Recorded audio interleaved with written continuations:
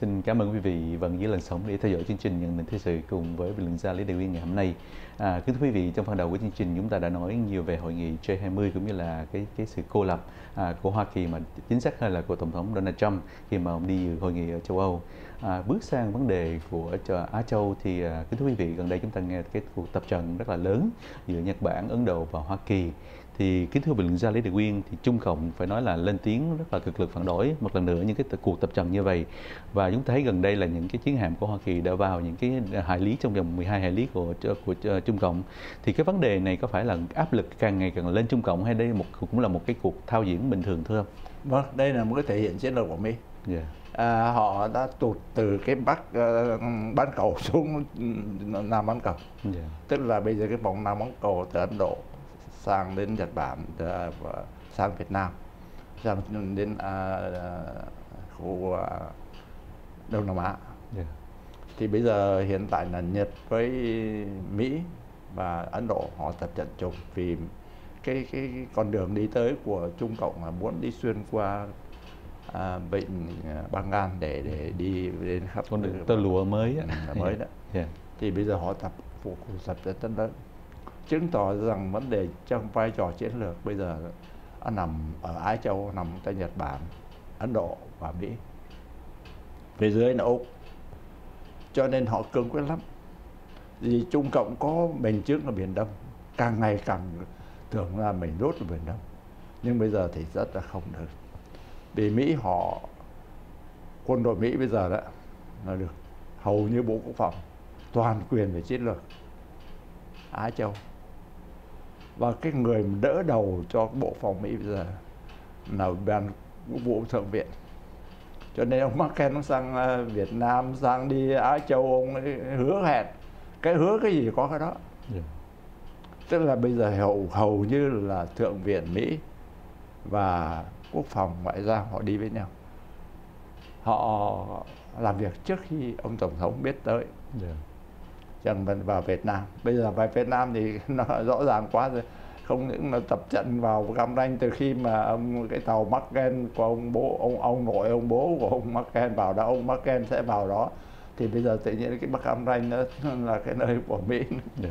không biết họ cho thuê bao nhiêu không biết là cái gì dạ. sang tay trong bí mật thì nói cho không biết nhưng mà đích thực cụ thể bây giờ Cam Ranh bây giờ tập hạm đội Mỹ vào tập trận hiện diện của Hoa Kỳ ở đó rồi yeah. Dạ. rõ ràng quá yeah mà công việc thứ nhất, thứ hai là à, Việt Nam dám ngang nhiên bắt tay với Ấn Độ một cách, bắt tay chiến lược với Ấn Độ và mở ra tất cả một con đường quân sự cũng như là kinh tế với Ấn Độ như là mời Ấn Độ vào khai thác Biển Đông.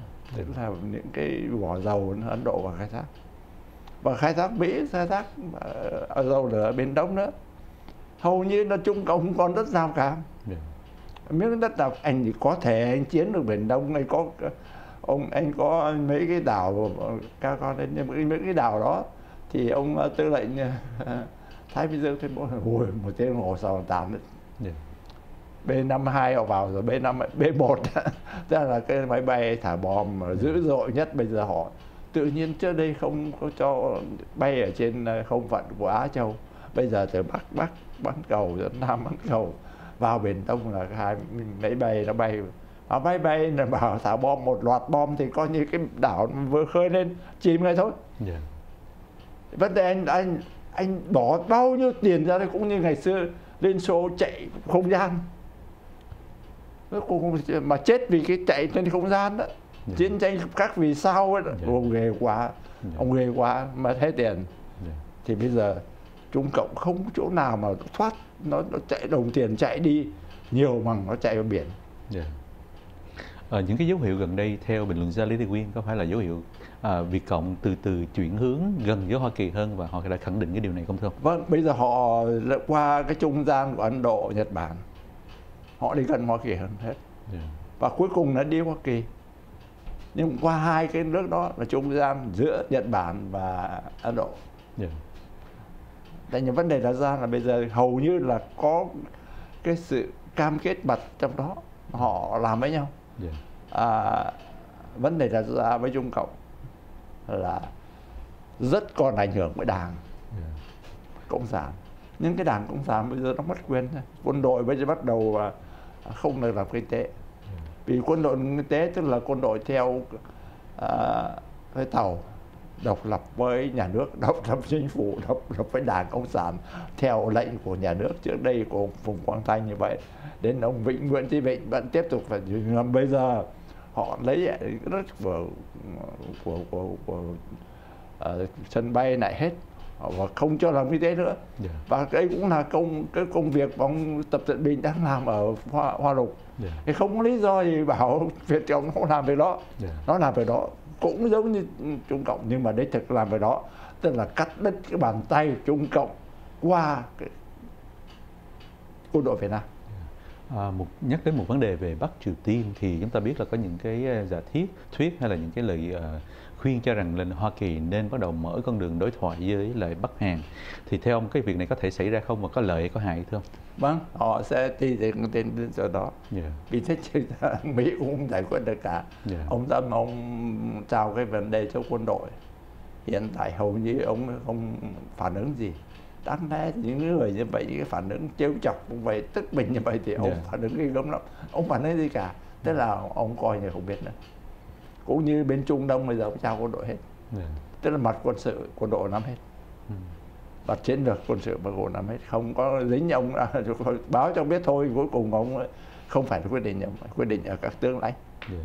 thì rõ ràng quân đội bây giờ họ Mỹ bây giờ tự nhiên nó uh, nó tự nhiên quyền tổng tư lệnh ngày xưa thì ông không phải là ông tổng thống quan tổng thống nhưng giờ giữa cái quốc hội giữa thượng viện của Mỹ và cái tức là ủy ban quân bộ thượng viện Mỹ và bộ quốc phòng Mỹ nó liên kết với nhau và hai cái đó liên kết với nhau thì nó có thể làm mọi việc làm được mọi việc về yeah. quân sự về yeah. quân sự yeah. Yeah. lần lần sau những cái năm tháng mới thấy những cái điểm yếu điểm mạnh của ông Donald Trump à, thế điểm yếu yeah. họ nhìn rõ yeah. ông làm được cái gì yeah. họ để ông làm thì bây giờ họ để cho ông làm công việc mà uh, khuấy động à, thế giới cũng biết rồi mà giờ hết yeah. thế giới không biết ông làm gì người ta cứ tin tưởng phải là ông tổng thống quyết định yeah. bây giờ ông quyết định gì cả yeah. ông chỉ có một cái quyết định là đứa nào chống ông thì ông chống lại thôi thì thế thôi ra ra yeah. nhất là báo chí ông không thể hợp tác báo chí được không thể làm sao hòa giải báo chí mỹ được. Thù hận với nhau vì chính ông là cũng từ nhà báo mà ra yeah. Thế nó khó đó nó khó chỗ đó. Yeah. mà nhà báo này á không phải đơn thuần của nhà báo như Việt Nam ta. Ở trong hạn hẹp trong một tờ báo hay trong một tin tức với nhau thường không có. Tòa báo của Mỹ nó là cả hệ thống quốc tế. Bao tin tức mật nó muốn có chỗ nào thì có thôi vì đích thực ra cái đằng sau của nhà báo những tờ báo những truyền thông nó phải nhà tại tư bản tại Việt yeah. cái hệ thống tại Việt kinh tế nằm ở đằng sau đó thì muốn gì có cái đó yeah. cái vấn đề là ra là khó lắm yeah. cho nên ông Tâm đó khéo léo của ông đã khéo léo lắm tức là khi ông dùng toàn ông nghĩa là trong có nhiều cái kinh nghiệm trong chiến trường không, không thượng thặng ở trong yeah. kinh tế đó ông yeah. Như ông uh, Richard đó, ông là bộ trưởng uh, tài chính bây giờ đó. Như ông uh, Tennyson tức là những người ghê gớm lắm ở trong cái cái, cái hệ thống tiền tệ quốc tế. Nhưng mà đích thực họ, họ làm việc với ông cũng được. Họ làm việc được. nhưng mà kinh tế Mỹ không xa suốt đến nào cả. Yeah. vì họ khôn lắm họ làm việc hết chứ ông đi vơ ông đánh mọi nơi ông thua ông làm tất cả mọi cái. Nhưng mà kinh tế Mỹ nó vẫn vững. Yeah vẫn vẫn không phải ông có làm vợ ông ấy. Ông biết là cô lập như vậy là ông, bây giờ bỏ người ta bỏ. Nhưng mà không thể bỏ buôn bán với nước Mỹ. Yeah. anh thể cô lập Mỹ tự cô lập mà anh tự cô lập không được. Thì cái thế giới muốn cô lập anh cũng không được. Bởi vì cái cái cái chân rết khắp thế giới rồi.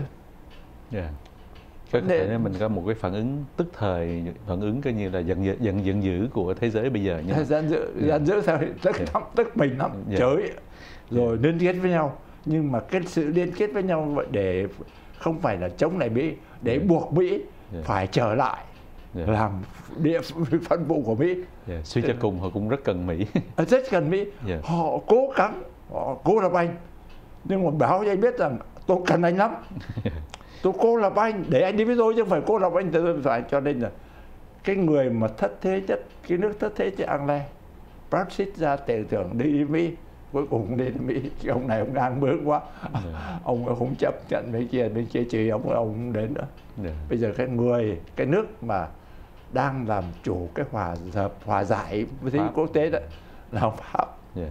À, yeah. bây giờ Pháp đang đóng sắp vai trò đó yeah. Đúng Thế, là... anh bị bị thất thế yeah. Nga bị thất thế trong cái trận này yeah. bây giờ Pháp và Trung Cộng đã bắt bắt đầu có cái thế lực của nó nhưng mà Trung Cộng phải khôn khéo Mỹ không thể bỏ Mỹ được bỏ Mỹ là chết ngay tức khắc yeah. Pháp phải nói lòng tổng thống này cũng là thiên thời địa lợi nhân hòa đúng một cái người đúng à, cái thời điểm làm việc đúng yeah. Và phải chúng ta nói rất nhiều nhưng là hình như anh trước đây là tâm để bằng rốt chai. Yeah.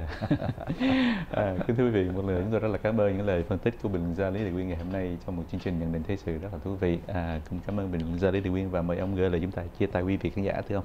Cảm ơn cảm ơn. Kính chào quý vị à, xin cảm ơn quý vị và chúng tôi xin hẹn quý vị trong chương trình nhận định thế sự lần sau